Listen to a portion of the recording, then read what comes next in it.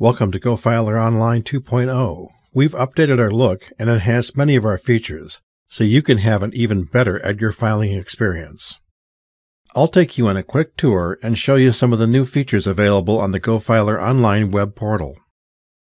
When you first log on, you'll see we have a new dashboard for you. Here you'll find a list of recent projects, each with a status to let you know whether you have filed that project and the outcome of the filing. Below the recent projects are recent files, which are your non-GFP documents like exhibits. You can click on any of these files to open them in the GoFiler software. We've also made some changes to the Quick Launch buttons.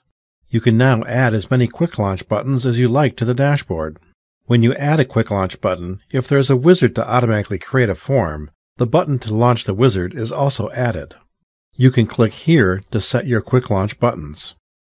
The rest of the dashboard contains the same information as before with some minor updates. The account activity and Edgar filing history have been combined into one section. The alerts area is still located at the bottom of the page.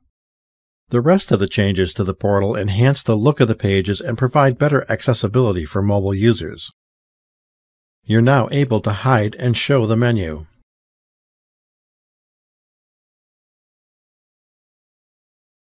Preferences and settings are grouped visually to provide an improved snapshot of your account.